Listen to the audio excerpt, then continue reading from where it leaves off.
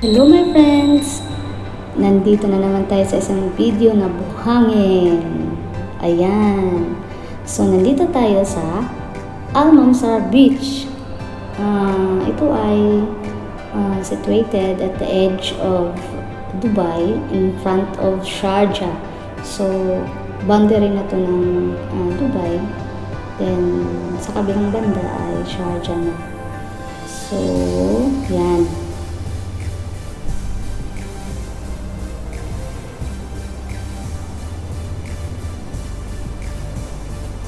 Yan. So, ang ganda ng beach na to kasi uh, maliban sa napaka-presko, mali malinis din siya.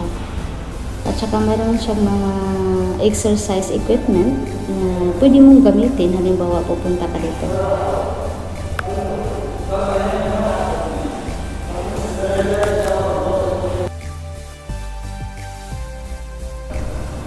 Ayan na.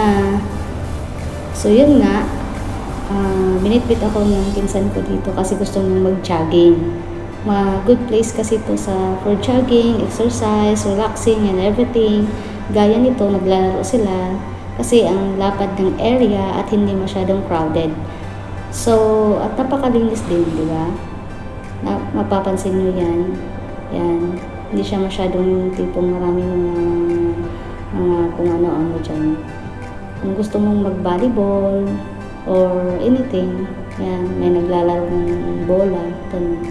Tsaka ito yung provided nila na jogging place. Ang kagandahan nito ay meron siyang uh, um, uh, nakalagay na kung ang, anong haba yung so malalaman mo kung gaano nakahaba yung uh, tinakbo mo kasi with correspondence meters ang nilagay nila doon.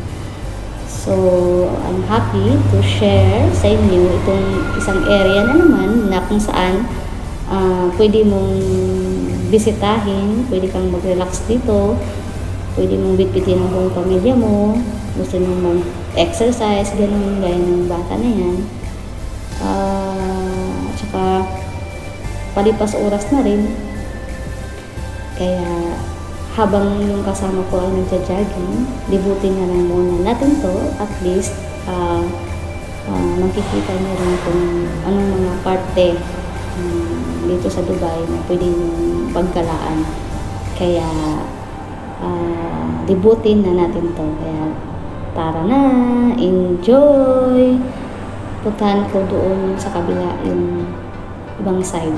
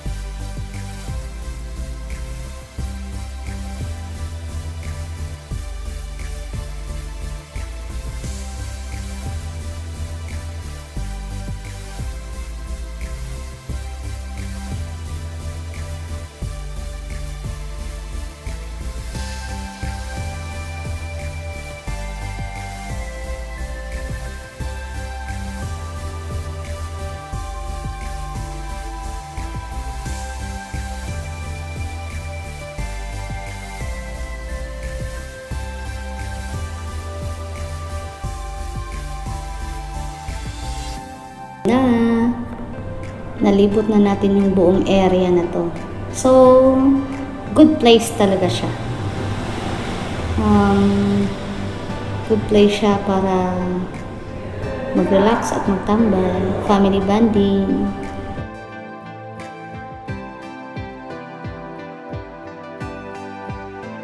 Yan na.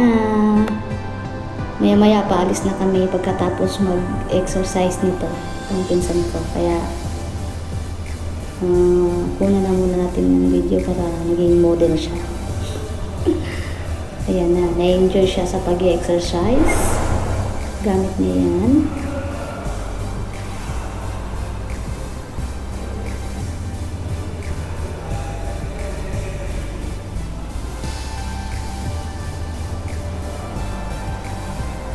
Kaya pala ang saya-saya ng ngiti niya.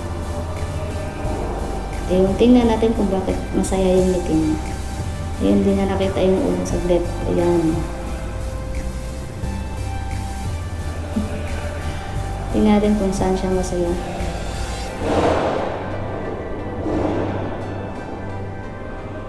Ah, siguro ito. Thank you for watching.